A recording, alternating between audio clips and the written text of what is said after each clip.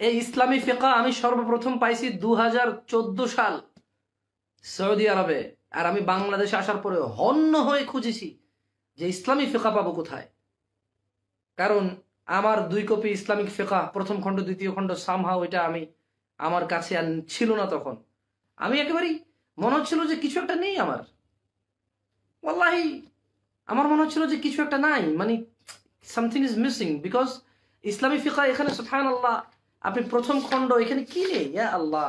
বিসমিল্লাহ রহমান রহিম। এই যে সূচিপত্র, তাওহিদ ও ইমান আল্লাহর প্রতি ইমান কেয়ামতের আলামত সমূহ কোরআন ও সুন্নার সূক্ষ্ম বুঝ হ্যাঁ আখলাক চরিত্র, আদব ও শিষ্টাচার জিকিরাজকার অধ্যায়, দোয়ার অধ্যায়, পবিত্রতা অধ্যায়, সলাত অধ্যায়, যেসব সেজদা বৈধ, জামাতে সলাত অধ্যায়, ইমাম ও মুক্তাদির বিধানসমূহ মাহাজুর অক্ষম ব্যক্তির সলাদ জুমার সলাৎ, নফল সলাদ জানাজা অধ্যায় সুবহান আল্লাহ সুবহান আল্লাহ এখানে শুধু তাই নয়, আপনি মানে যেমন তৌহিদ তৌহিদ তৌহিদের প্রকার, ইবাদত, শিরক, শিরকের প্রকার, ইসলাম, ইসলামের রোকন সমূহ ইমান ইমানের কিছু শাখা প্রশাখা ইমানের রোকন সমূহ আল্লাহর প্রতি, এই যেমন ইমান হ্যাঁ?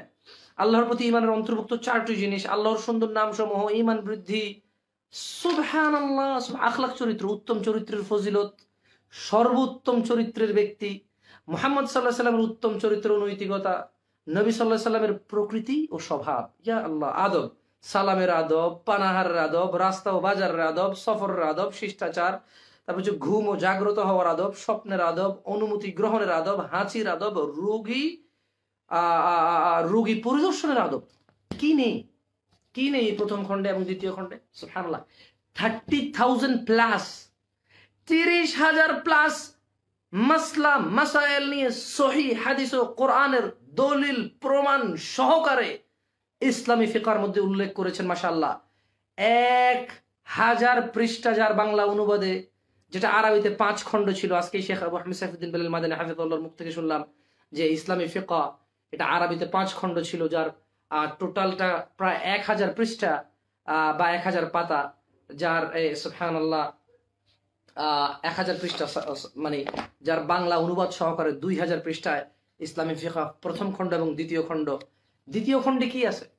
আমি আমি চাইব আপনারা সবাই এটা আমার কাছে অনেকে বলেছেন, জামশেদ ভাই, কোন বইটা পড়ব? আমি চাইব আমার দিনী ভাই সবাই আমার এই ভিডিওটা শেয়ার করবে। যারা যারা ওই যে কোনো পেজে ভিডিও আপলোড করে বা যারা কোনো গ্রুপে ভিডিও আপলোড করে এবং যেটা মানুষের উপকার আসে। ওয়াল্লাহি, আমি জামশেদ মজুমদারের দু চারটা কথা, দু চারটা ছোটখাটো লেকচার দু চারটা খোদবা মানুষের কতটুকু উপকার করতে পারবে আমি জানি না। তবে এই ইসলামী ফিকাহ যদি কেউ কারও ঘরে রাখে, আর যদি সে নিয়াত করে যে ইনশাল্লাহ তাহলে আমি এটা পড়ব, এবং এর দিক নির্দেশনাগুলো, গুলো আমি কোরআন হাদিসের সাথে মিল আছে দেখে আমি মেনে চলবো ইনশাল্লাহ সে পথ ভ্রষ্ট হওয়ার জন্য মানে মানে পথ পাওয়ার জন্য এদিক সেদিক যাওয়া লাগবে না।